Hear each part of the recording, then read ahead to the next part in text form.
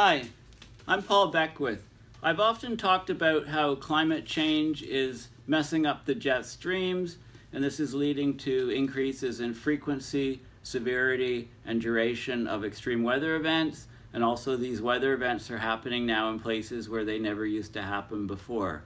Talking about mostly hydrological events like extreme uh, torrential rains leading to extreme flooding or um, droughts on the other side of the coin. In this video, I'm going to talk all about fire, wildfires, and how climate change is increasing the frequency, severity, and duration of wildfires. Just like extreme weather is increasing, it's also causing wildfires to occur in places where they didn't occur before. Um, I'm not finished this book, I'm a good chunk through. It's called Megafire The Race to Extinguish a Deadly Epidemic of Flame by Michael Kodas. It just came out recently. It's a 2017 book. Um, the author is deputy director of the Center of for Environmental Journalism at the University of Colorado Boulder. Now, this is a great book all about these these enormous fires that we're seeing. We're in a different uh, climate regime. Changed the chemistry of the atmosphere and oceans. We're in a different wildfire regime, and this is not good because all wildfires they they're burning organic material. They're burning vegetation, and that carbon is going into the atmosphere. And those trees and vegetation are no longer there to suck carbon out of the atmosphere. So it's a double whammy as far as climate change is concerned. So let's right get in. Let's get right into these wildfires. If you just Google Google images and search for wildfires, you can get all kinds of different images of these massive fires. So, and firefighting. You know the resources. There's some plots here um, of area burned um, as a function of year, or these are. This is a particular drought map here. Um, there's lots of reasons why climate change is making wildfires a lot worse, and I'll get into some of the details on this. So let's have a look at some of the different types of forest fires. Okay, we have surface fires. Travel fairly, not, not too fast, they travel along the surface. Uh, we have ground fires. If we have um, high organic material in the soils, etc., or permafrost, those can actually burn, and these can be very long duration, slow burning fires. We also have crown fires where the fires spread just at the tops of the trees, and these can move very, very fast and be very difficult to fight. Uh, just bring up this guy here. Okay, so in a forest where fires rarely happen, the fuel builds up.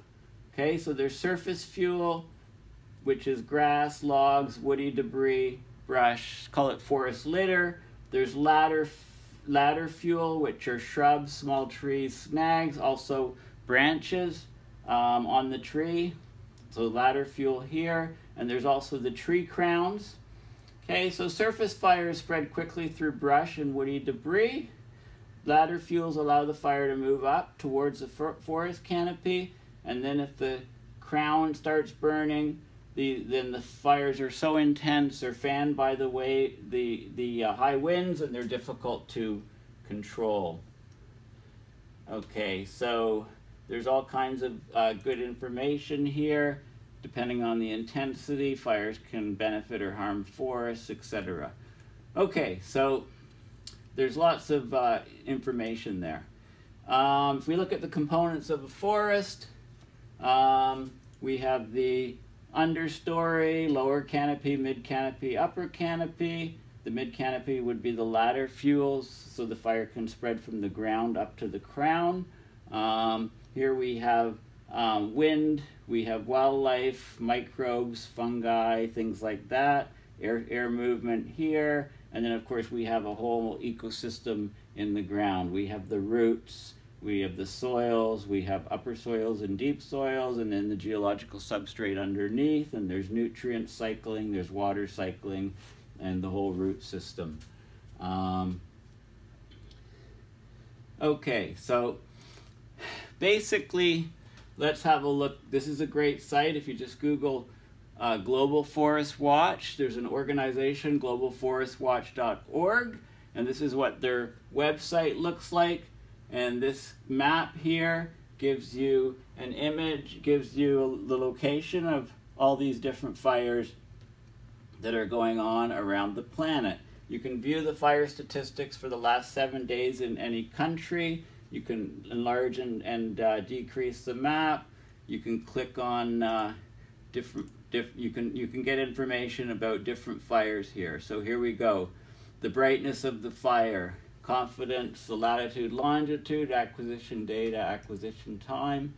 Okay, you can get information on uh, particular fires. Okay, so there's different uh, brightness levels, or which is a measure of the intensity of the fire. Okay, um, let's have a look. If we want to look at the country report, we just generate the report. I did that for the U.S., for example. So here, here's the fire report for the U.S. It's over. It's from September 24th to October 1st, 2017. It tells you how many fire alerts there were. It tells you the states that they were in gives you the distribution of these of the uh, fire alerts. Okay. Um,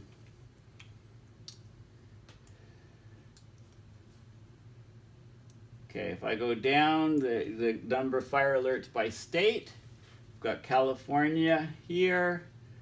Okay, so we've got peak fires here, here, and uh, fewer fires uh, here you can follow, look at the color-coded map. So here we go. We have Arkansas, we have 1256 fire alerts, California's next, Hawaii, and so on. Okay, you can also, um, the greatest number of fire alerts by county is uh, here. Okay, so you can see um, different counties. And uh, if we go to fire alert counts, uh, MODIS, this is the satellite MODIS. You can see the um, different alerts from, this is from January 2012 to August 2017. Big, a lot of bad stuff going on here. This is during the El Nino 2015 when it was super warm. Fires spiked up here. Daily fires, 1014. Daily fires, Yep, there we go. 3,334. I missed this peak. Can't seem to get the peak. 29.95. I'm, I have to expand and get the peak. You can do that. Um, here's a plot, um, January through uh, December. This is 2017 here. Okay, we've got the different years here. 2012, 2013, 2015, 16, 2017. Okay, not sure what happened to 2014. 2014, okay, it's one of these ones, probably the lowest one. Okay, so the annual fire history, that's in terms of fire alerts, MODIS fire alerts, and so on. Okay, so that's a good site. Now, fires put out a lot of particulates in the air, they put out carbon monoxide. So Google Earth Null School, bring up the Earth Null School screen, uh, Earth, Earth Null School screens, click on Earth, bring up the menu, go to chemistry. You can see we're looking at carbon monoxide, CO2 here, sulfur dioxide. These things are all produced generally in fires. You can look at the particulates. Um, this is uh, any particle, um, this is one micron cutoff. This is 10 micron and above, 2.5 micron diameter and above, one micron and above.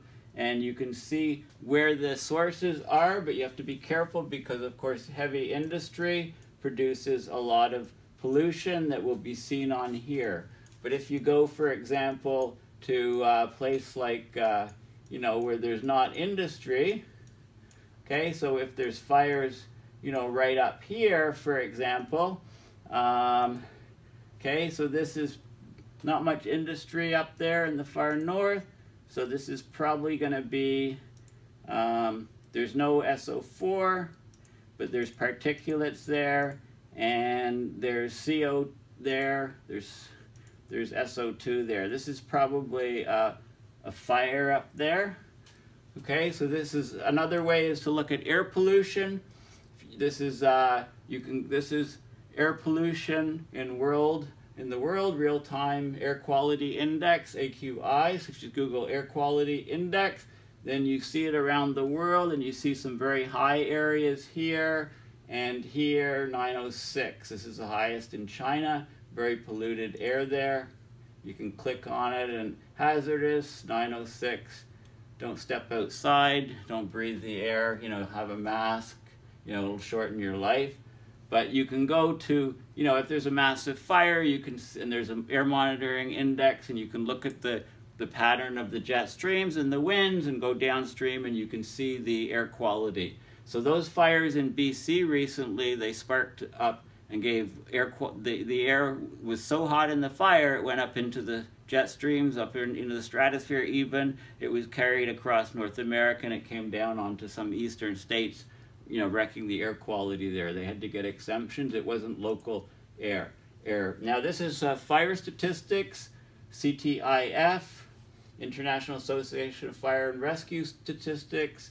Um, just Google wildfire statistics. There's all kinds of information here um, all kinds of charts on different countries, uh, populations affected, number of fires 2011 to 2015 in all these different countries, average per year, average per capita, fire in injuries, fire services statistics, and then it's also in uh, bar chart form so that you can easily compare the number of fires in different places um, and uh, this is updated. This is the latest I could find. It goes up to 2015.